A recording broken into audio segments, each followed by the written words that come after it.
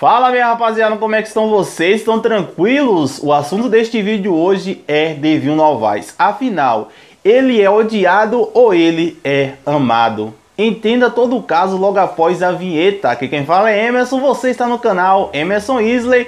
Roda a vinheta e vamos ao vídeo.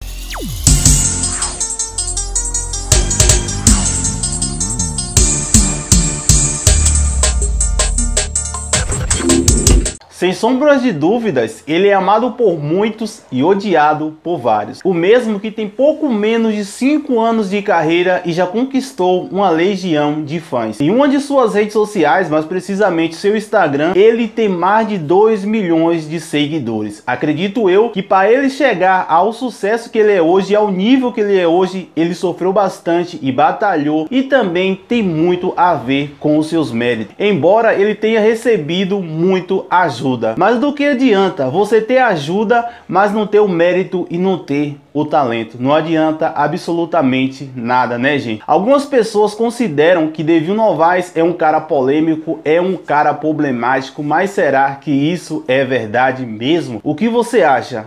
Comente aqui embaixo. Algumas pessoas também consideram que Eduardo Costa e Igor Canaro são dois cantores super polêmicos. Mas você acha isso mesmo? O porquê que ele é polêmico? Eu assisti uma entrevista de Zezé da dupla Zezé de Camargo e Luciano, onde ele falou que no Brasil tem um problema. Muitas das vezes, se você for sincero, se você for realista, se você falar aquilo que você pensa, você vai ser considerado um cara polêmico. Mas será que esse esse perfil se encaixa com Devil Novaes? Será que Devil Novaes é sincero, é realista e fala aquilo que ele pensa e as pessoas consideram que ele é um cara polêmico? Aí vai outra pergunta para você que está assistindo esse vídeo. Embora algumas pessoas acham que o sucesso dele já caiu, ele não faz mais sucesso, estão muito enganados. Recentemente, Devil Novaes lançou seu novo CD, onde ele está trabalhando a música Ana. Embora algumas pessoas estavam esperando que o CD não ia bater certo, que o CD não ia ter muito assim, muita repercussão, não ia ser bem executada, se enganaram de verdade. O CD dele está sendo bastante executado e já bate aí quase ou quase 2 milhões milhões de plays no aplicativo do Sua Música ou mais, porque eu não estou acompanhando muito bem, mas recentemente estava batendo quase 2 milhões de plays, para vocês verem que o CD está sendo bastante executado. Lembrando que Devil começou sua carreira na música ali nos anos de 2017 para 2018 e assim, ele ficou bastante conhecido mesmo no Brasil logo após ele ir no programa do Rodrigo Faro, e a partir dali sua carreira deslanchou. E a música Oi Negro, que é a música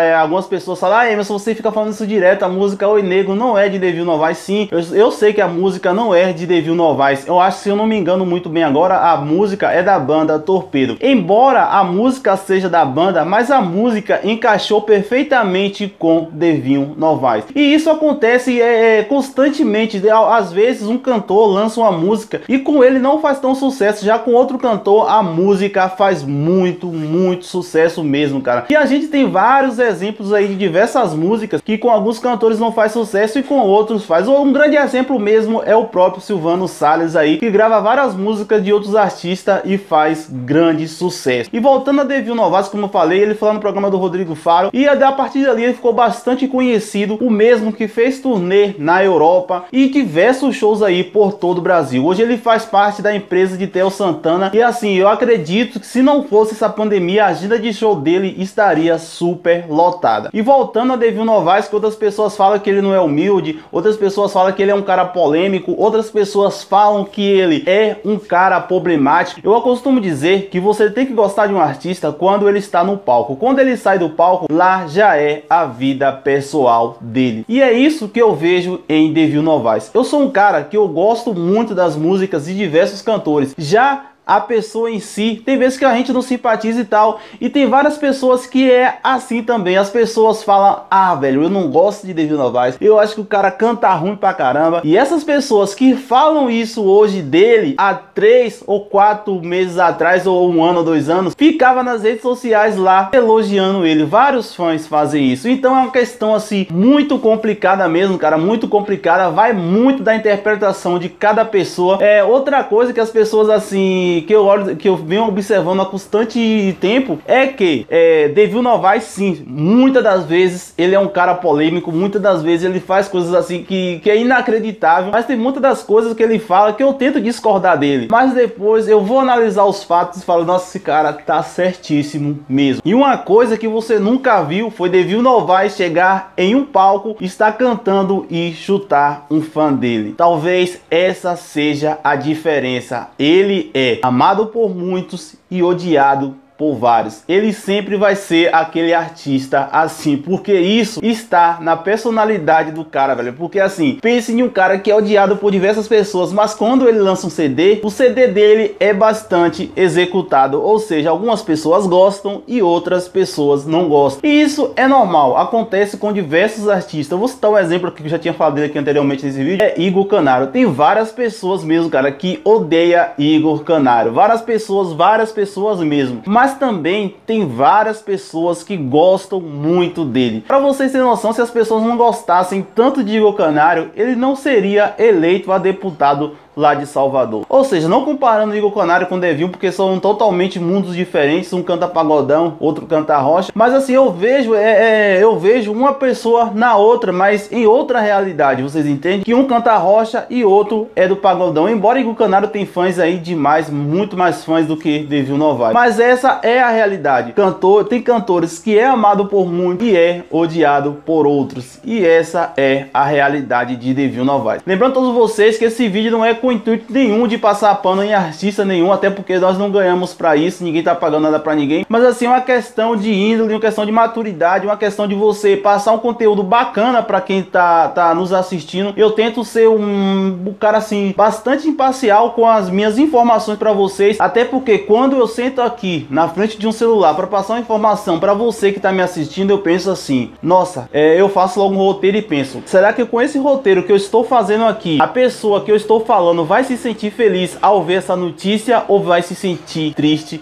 Então, cara, é assim, é, eu costumo falar da minha vida pessoal agora, eu costumo falar assim que eu nunca, que eu nunca vou vir aqui na frente da câmera e vou meter o pau em um cantor, falar mal pra caramba, falar, falar, falar, porque assim, isso não compactua com a minha pessoa, eu não, não me sinto bem quando eu falo mal de uma pessoa. Por mais que uma pessoa seja um cara polêmico, seja um cara que, tipo, que a gente não, não, se, nem simpatize muito, mas eu nunca vou falar isso porque eu não, não, me, não, não me sinto bem quando eu falo algo algo assim. Mas enfim, voltando a Devil Novaes, eu acho que é isso. Ele é um cara que vai, sempre vai ser assim, vai ser odiado por alguns e amado por outros. E o que você acha? Comente aqui embaixo. Bom, gente, vídeo ficando por aqui. Se você gostou, deixe seu like, se inscreva no nosso canal e ative o sininho de notificações. Não se esqueça de me seguir no meu Instagram, arroba Emerson Tamo junto eu espero você no próximo.